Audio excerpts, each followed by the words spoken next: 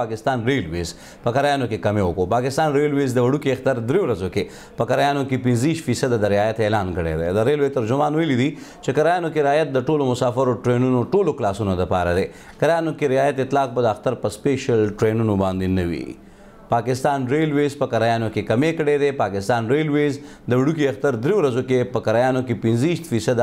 د رعایت اعلان کړی دی. د ریلوې ترجمان ویلي دي چې کرایانو کې رعایت د ټولو مسافرو ریلګاړو ټولو کلاسونو لپاره دی. کرایانو کې رعایت اطلاق به د اختر په خصوصي ریلګاړو باندې نه وي.